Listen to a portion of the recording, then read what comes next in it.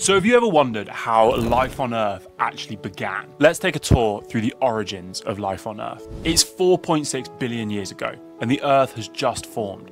We're in the Hadean Eon. It's a hellish landscape with hot volcanoes, lightning storms, and no oceans yet.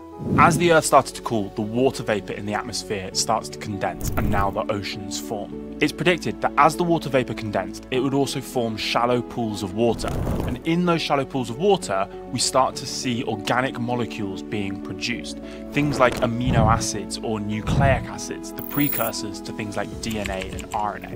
Now, in 1953, scientists replicated this the Miller Urey experiment created the conditions of this early Earth and proved that these organic molecules can be produced. It's also thought that some of the earliest life forms or the precursors to life might have actually been these organic molecules.